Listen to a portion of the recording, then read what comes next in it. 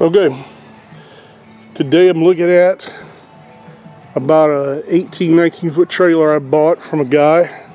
I was looking for just the axle and uh, this guy sold this trailer to me for 75 bucks.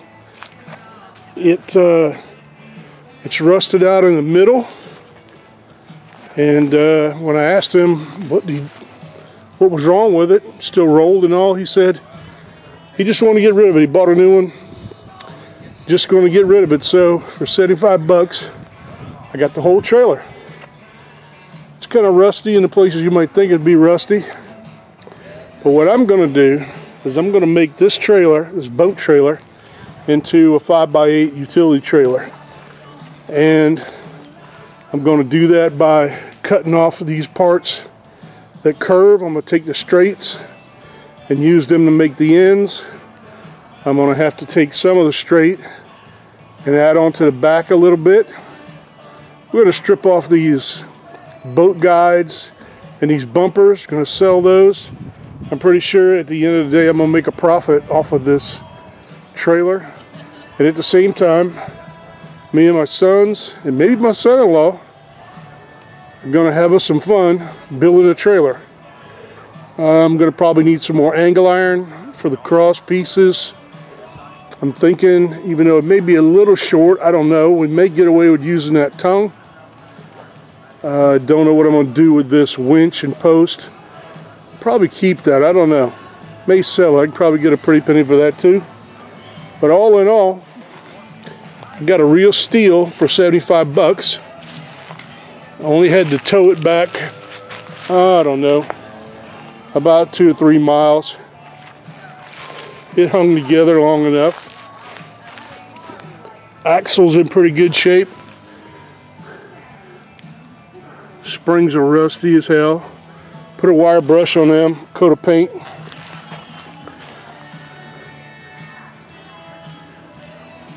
But other than that, this thing was fixed. You're probably looking at $500 trailer easy. But instead, I'm going to tear it apart with my kids, my son-in-law. I'm going to show him how you can take one trailer and make another trailer.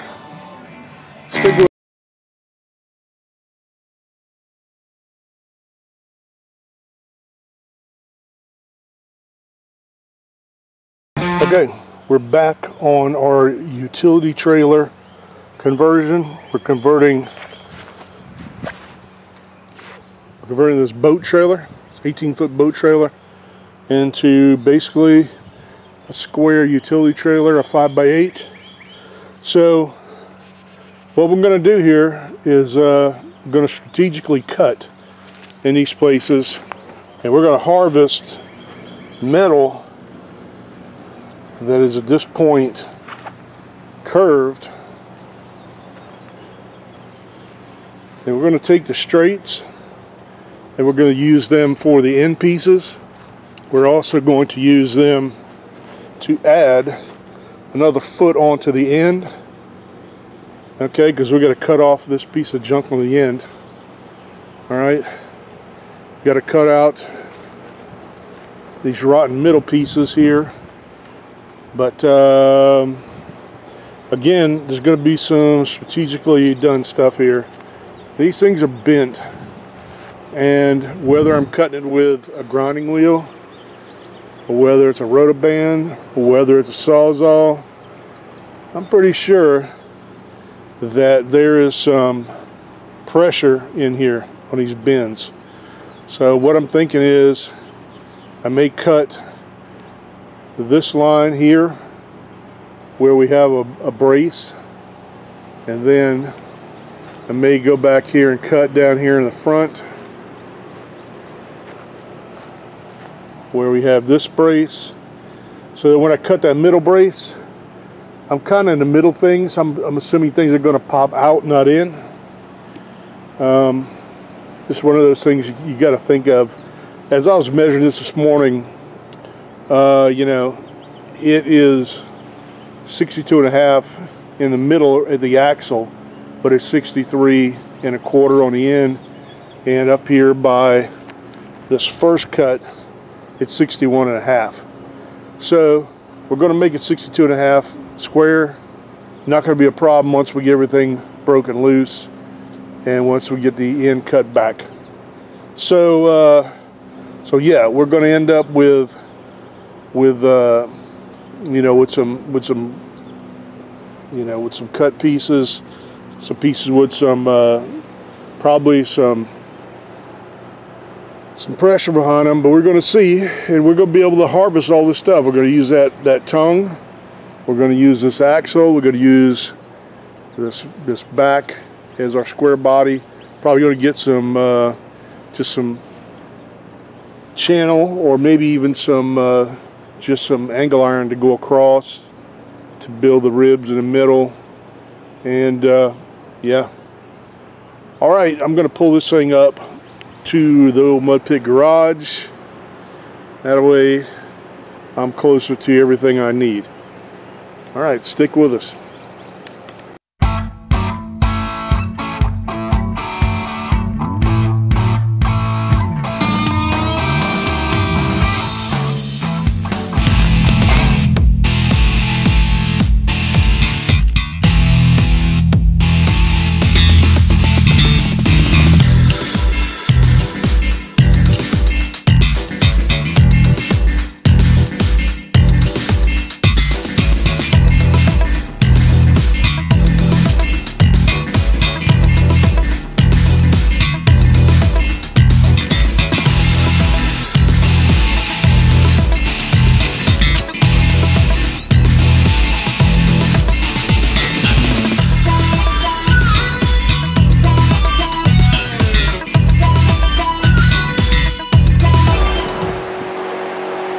Okay, back to cutting.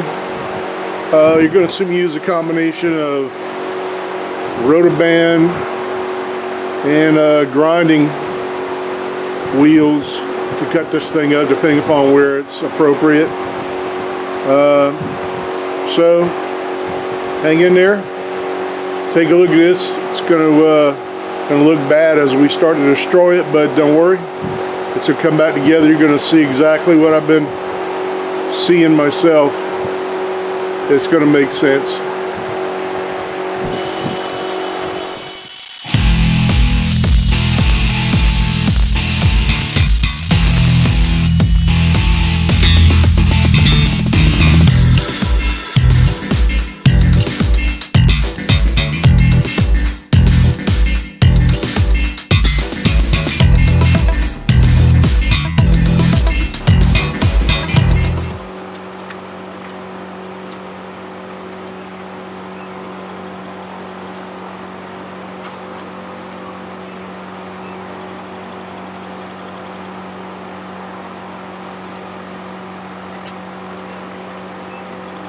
Okay, so this is what we have left. This is the beginning of the box part of this trailer, the, the deck. We're going to take one of these straight pieces we cut. We're going to cut it off, notch it to fit in the front there at 62 and a half, I think. We'll check again. And then we got that locked in, and square. Then we're going to go on the back. We're going to add a foot and then a square piece on the back. So now you can see where we're going. We're going to leave that rusty uh, member in the middle right now just for a little bit. I don't know, maybe broke all the way. It may not be doing much good.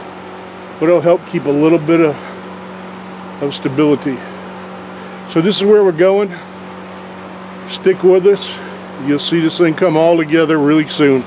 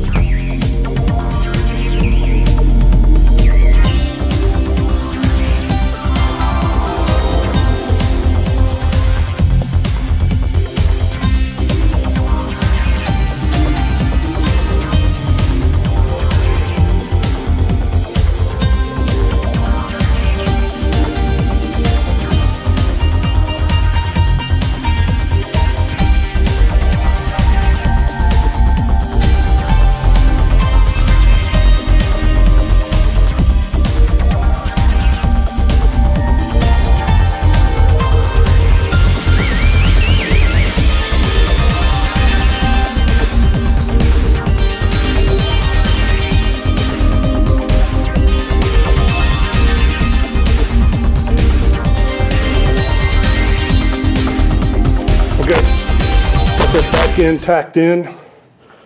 The fit up is pretty ghastly with the gap, but uh, uh, I was trying to uh, adjust some things.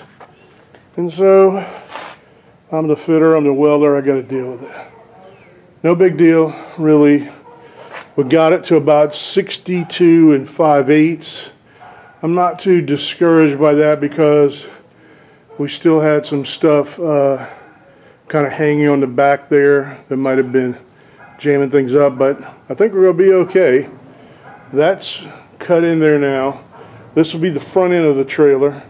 That's where we'll weld we'll weld our our tongue there and then we'll run some braces diagonally into it and maybe some gussets right up against the uh, against the metal itself. So okay, so this is what we've done today. We cut a lot of metal out of the way down to this part. We've got this notched in and uh, we're done for the day. Stay tuned for more.